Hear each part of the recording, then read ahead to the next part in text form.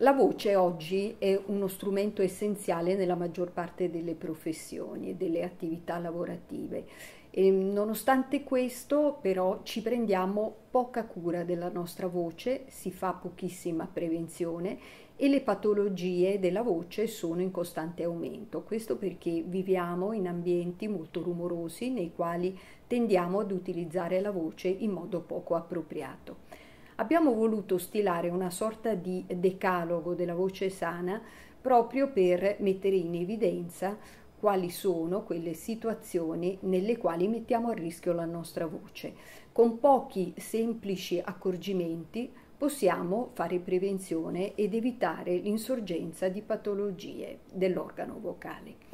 Prima di tutto la cosa più semplice, bisogna parlare lentamente, con un volume adeguato e darsi delle pause per prendere fiato. Produciamo la voce grazie al flusso d'aria proveniente dai polmoni. È necessario quindi che vi siano delle pause affinché si possa fare un rifornimento adeguato d'aria per sostenere eh, la, la vibrazione delle corde vocali.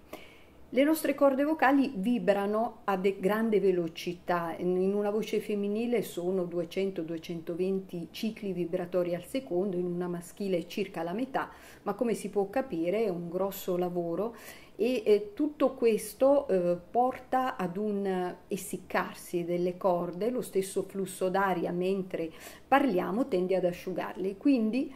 è importantissimo idratarsi in modo adeguato, bere a sufficienza, evitare l'eccesso di bevande che contengono caffeina che possono farci disidratare, ma anche curare il grado di umidità dell'ambiente nel quale viviamo e nel quale lavoriamo, quindi cercare di mantenere un tasso di umidità adeguato che in genere non deve essere inferiore al 40%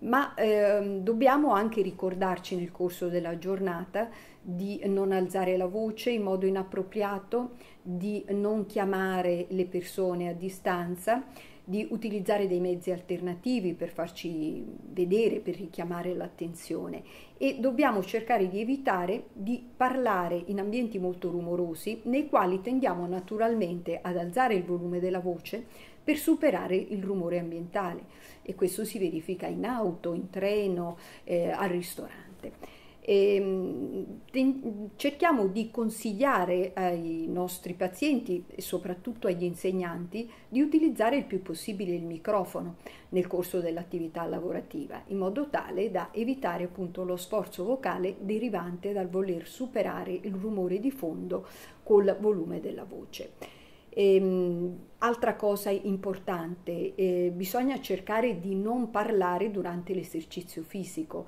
Se stiamo utilizzando il fiato per eh, un'attività fisica, per esempio in palestra, è opportuno non cercare di conversare contemporaneamente perché questo comporterà uno sforzo per le nostre corde vocali.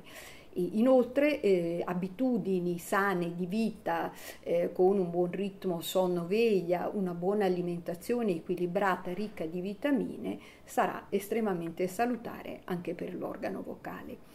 Per ricordare tutto questo, tutti gli anni eh, celebriamo la giornata mondiale della voce e eh, in questa occasione eh, l'occasione per incontrare il pubblico e per fornire appunto tutti eh, questi eh, criteri che abbiamo citato eh, per prevenire le patologie della voce. Quindi ehm, presso il Policlinico di Milano quest'anno il 7 aprile, nella mattinata del 7 aprile, ci sarà un incontro aperto al pubblico eh, nel quale eh, daremo delle nozioni di anatomia e di fisiologia sull'organo vocale che sono essenziali anche